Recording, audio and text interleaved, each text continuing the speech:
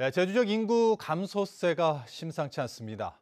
출생아 수는 역대 최저치를 기록했고 순유출 인구는 1년 새 2배나 늘었는데 이 30년 후에는 인구가 3만 명이나 줄어든다는 전망도 나왔습니다.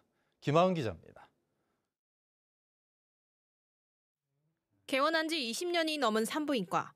한때는 제주에서 임산부들이 몰리는 병원 중 한 곳으로 꼽혔지만 지금은 산모들의 발길이 뚝 끊겼습니다.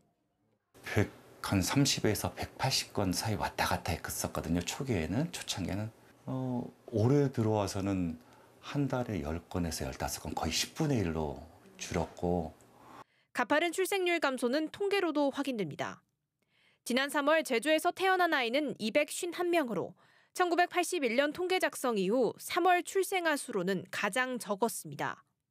출생아 수가 줄고 제주 지역을 빠져나가는 사람들이 늘어나면서 제주 지역의 인구 소멸 시계가 점점 빨라지고 있습니다. 올 들어 4월까지 제주로 삼터를 바꾼 사람은 3만 2천여 명에 불과했지만 제주를 떠난 사람은 3만 4천여 명에 달해 순유출 인구가 1,857명을 기록했습니다. 1년 전보다 2배 넘게 인구가 줄어든 겁니다. 통계청은 지금 같은 추세면 30년 후인 2052년엔 제주 인구가 3만 명 줄어 64만 명대까지 떨어질 것으로 예측했습니다. 2022년만 해도 30년 후 인구가 늘어나는 지역으로 꼽혔지만 2년 만에 결과가 뒤바뀐 겁니다.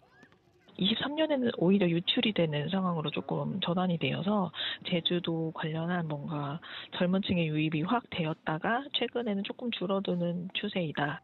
한편 같은 기간 생산 연령 인구는 30%나 줄어들고 고령 인구는 2배 이상 늘어날 것으로 예측됐습니다. MBC 뉴스 김하은입니다.